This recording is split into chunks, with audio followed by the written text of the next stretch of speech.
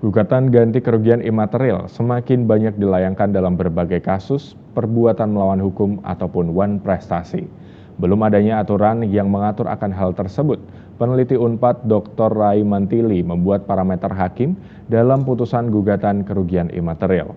Berikut laporan tim Divia Unpad TV untuk USM TV. Belum adanya aturan mengenai aturan ganti rugi imaterial. Peneliti hukum Unpad Rai Mantili SHMH hadirkan parameter hakim dalam memutuskan gugatan ganti kerugian imaterial pada perkara melawan hukum dan wan prestasi. Penelitian ini kemudian diseminasikan melalui program Hard Talk yang dipersembahkan oleh Direktorat Riset dan Pengabdian pada Masyarakat. Rai Mantili menyebut melalui penelitian ini dapat menjadi pedoman bagi hakim dalam memutuskan ganti ganti kerugian imaterial.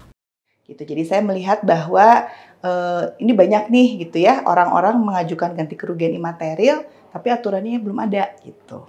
Jadi simpel dari penelitian ini memang e, diperlukan gitu ya bahwa harus ada aturan gitu mengenai ganti kerugian imaterial terutama untuk hakim nanti yang akan memeriksa perkara tersebut gitu ya. Jadi jangan hanya asal mengabulkan tuntutan ganti kerugian imaterial ini tanpa adanya pembuktian yang benar gitu. E, dari suatu ganti kerugian imaterial ini pasti banyak beberapa faktor yang harus diperhatikan, terutama dari sisi psikologis gitu ya, pihak yang dirugikannya dan dari pengaturan ganti kerugiannya gitu. Jadi diharapkan sih memang untuk selanjutnya nanti ada penelitian dengan Fakultas Psikologi dan Ekonomi gitu ya. Jadi psikologi ini melihat dari keadaan si uh, korbannya dan dari uh, penghitungan dan sebagainya dari Fakultas Ekonominya ini harus ada gitu aturan ini melihat dari perbandingan di negara lain ini juga sudah diatur gitu. Tapi kan kita tidak bisa mengambil aturan dari negara lain kita adopsi di Indonesia kalau memang belum ada aturannya di Indonesia. Gitu. Tapi bisa menjadi suatu uh, pedoman gitu ya bagi hakim untuk me,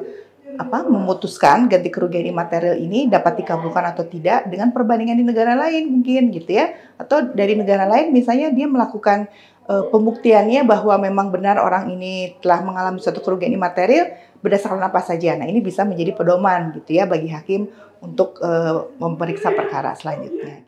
Belum adanya landasan aturan apa pun berkaitan dengan kerugian imaterial ini mengakibatkan hakim selalu kesulitan membuktikan kerugian imaterial yang diajukan oleh penggugat. Dari Jatinangor, Sumedang, tim liputan Divia Unpad TV melaporkan untuk USM TV.